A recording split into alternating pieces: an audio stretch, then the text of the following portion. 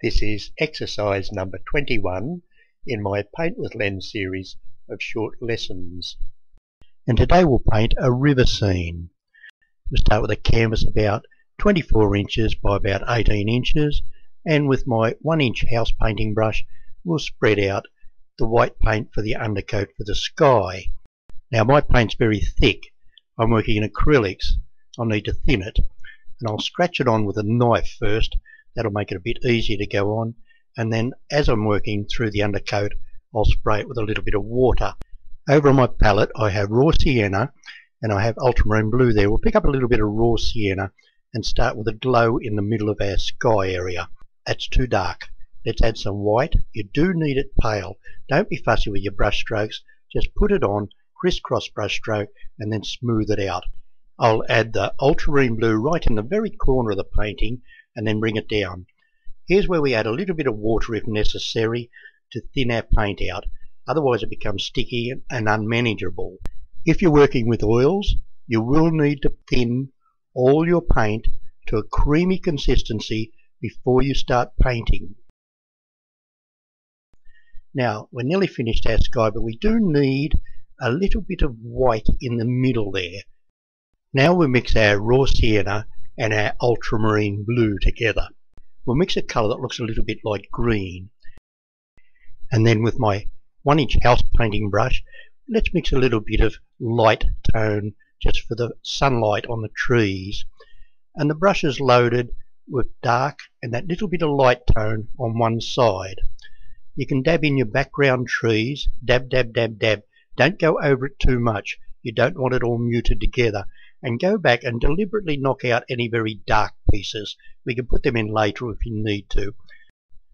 Try and get this tree shape, this irregular shape with curves. Now I'll put a little bit of dark in here, just deliberately put a little bit in there to give us a bit of shape in there. You'll see the brush is loaded with dark on one side and light on the other. And I'm dabbing quite hard now to give us that foliage look. And as we move away, we get darker and more vibrant with our brush strokes. Again, I've loaded it with darker again. And because we're coming near the edge of the painting, I'll go quite dark. And this will give us a feeling that the bush moves away from us as it moves in towards the middle. Now across on the other side, we'll do the same thing, but we'll jump forward a little bit with a very dark brush stroke. And I'm pushing the brush on quite hard now give us that very firm foliage look. Now that's our background locked in. We can clean our brush here with horizontal brush strokes. And now with a clean flat brush, I'll block in what is the undercoat for the background and the undercoat for the water. Use horizontal brush strokes, long brush strokes, and fill it right into the bottom where your water needs to be. Now we can add a little bit of blue to this to give us the blue reflection of the sky because this is the undercoat for the water. Later we'll add the reflections but right now we just put the blue of the sky in there. Now back to our palette. I've added Scarlet Lake, Violet and Warm Yellow and I've added a bit more blue as we're going to need it. I'll add white to each of these colours to give them a variation of tone. Clean your knife each time to keep your colours separated. And then with our 1 inch house painting brush we can mix a colour a little bit dark with the, with the red and the blue mixed together gives us a purple. And then we pick up a bright colour on the other side. So there's two colours on the brush at once dark and light. And with that we can put in a row of purple trees. I might as well turn that into water while it's here because that will be water there if I push firm with the brush, the dark comes off underneath and gives you a more of a tree look. We'll just fill that little bit in now and I'll get some white and put it on the edge of my brush and give it a highlight on top of the purple and that'll look like the sun shining on the edge of the purple trees. It looks quite pretty. Plenty more dark and plenty more light. This time we'll go for a red purple and we'll have a big tree up here. You'll see with the very dark and a very light and I'll force the brush on a little bit harder it'll give us a better tree effect and down into the water while the brush is loaded if it's still going well you can add your water if it runs out you need to add your water later and you get quite a lot done with one brush load if you load it well. Pull it down into the water. Then you do need to clean your brush before reloading, so why not clean it down there. Load it well again, plenty of colour, plenty of dark, plenty of light, and dab dab dab your tree shape into the edge of the picture. Unload the brush again. Now this time let's have some bright yellow trees. I've loaded it with dark and light and then I've got dark on, on the back of the brush. We'll put them in this area here but I do like that bit there. I better not cover it over too much. Dab dab dab into your mushroom shapes made into umbrella shapes and this is down into the water. While the brush is running well we might as well keep painting our water. Now you notice my brush is getting a bit dull there but that's alright. We'll put the undercoat in for the water here I've cleaned the brush and reloaded it several times and if I push quite hard I'll get deliberate foliage look quite a forceful stroke there to push it on to make the foliage now with this little round brush loaded with two colors with dark and with light we can put in our tree trunks twiddle the brush in two fingers as you pull it up and your tree trunks will change color. It's easy to do, just needs a little bit of practice.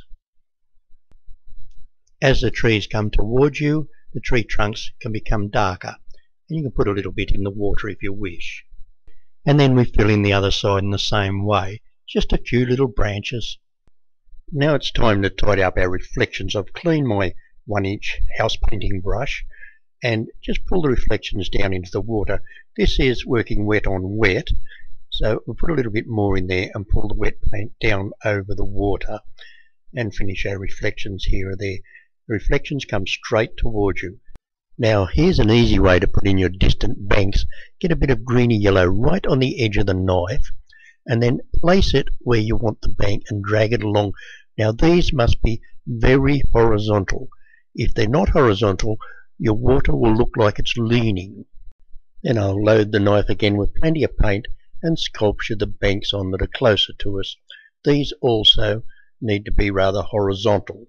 Under the banks we need some very dark colour, so I've mixed a few dark colours together here and put them on the edge of my knife. With that you can sculpture in the bank edge.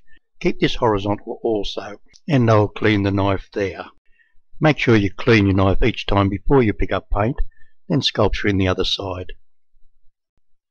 You need a very little bit of paint for this distant bank and a little line, just touch it on and that'll give us the dark line on the distant bank.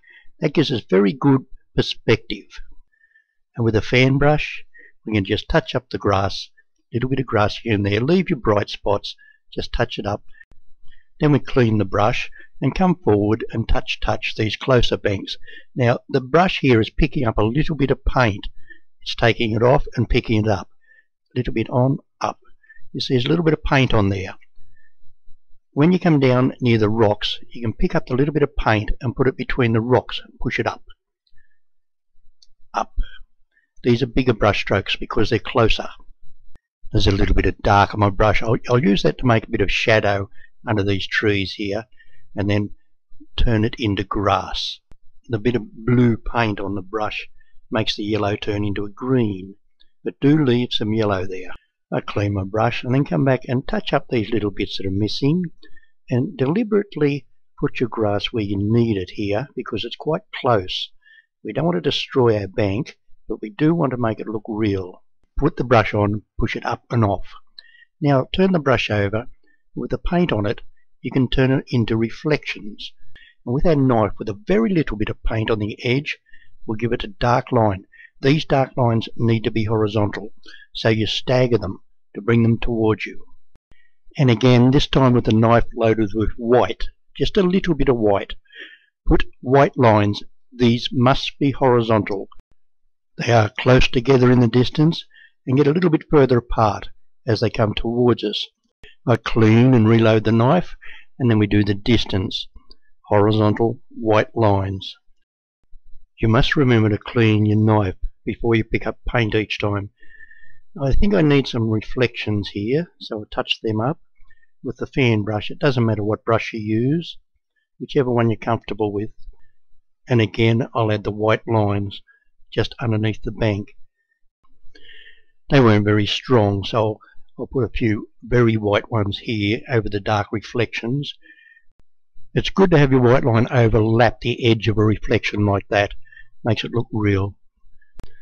I've added burnt sienna to the palette now. We'll mix it with our blue, and that'll form a very dark colour. Put a bit of crimson in there, or red, and fill in the foreground roughly. This is the soil. Don't mix it completely. Have all these different colours and different shapes. But do make sure you cover all the canvas in this area so we don't have to go back over it. Then with some white and other paler colours, we'll put it down here ready, and I'll make some tones that look good like sunlight on the rocks. We might have a few rocks there.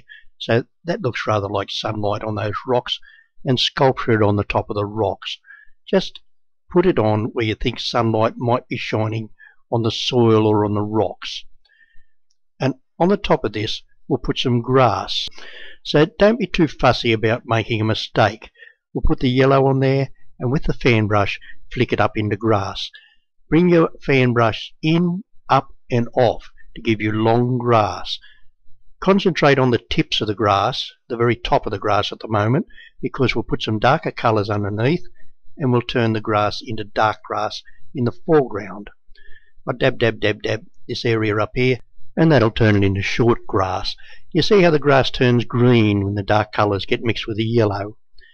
That white bit there's a little bit much so I'll just put a little bit of grass over it. It's a little bit too attractive. Now I'm loading the knife ready to paint a tree. I have a little bit of white on it. I'll put a little bit of blue, a little bit of burnt sienna here and there, touch it on so you're loading the tree onto the knife. A little bit of red, whatever you want on the tree, just load it onto the knife. A little bit of white.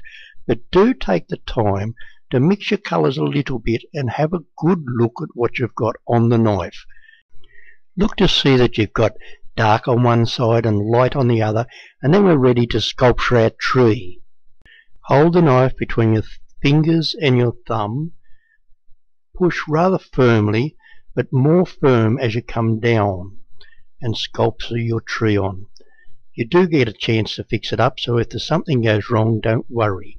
Just look that you're not going to destroy too much of your picture, and I'm holding my hand against my hand to hold it steady there bring it down and join it into the other tree butt there. I'm glad I can still see that little bit of water there. Don't fiddle with it. Now I'll sculpture in the very dark of the butt of the tree. That's the blue with a bit of burnt sienna in there. It doesn't matter what colour comes off. Clean your knife each time you pick up paint though. Here I'll put a bit of burnt sienna over the top. And don't fiddle around with it. Just put it on and leave it there. We can turn that into grass later. Now each time you pick up colour, clean your knife and pick up some raw colour.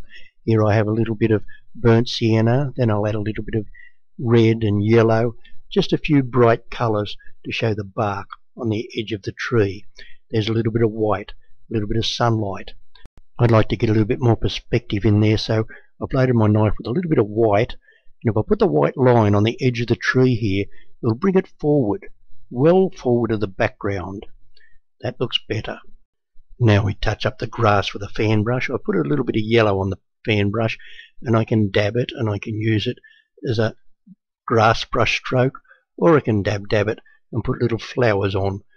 I think I still need a little bit of definition there between the butt of the tree and the background so I'll put a little bit of colour in there. Now with that little round soft brush I'll load it with dark and light and hold it with two fingers and we can twiddle in our branches. Lift the brush off as the branch finishes and you'll get a thinner line. Have jagged branches and curve them into the picture. We'll have another go. Bring it up, twiddle it around and off the picture. It doesn't matter what colour they are. Sometimes they turn out very well and sometimes they're not so good. But we can cover them up with foliage later.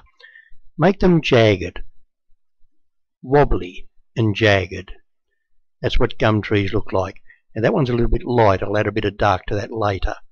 Or maybe I'll cover it over with foliage. It doesn't matter. We'll make it up as we go along.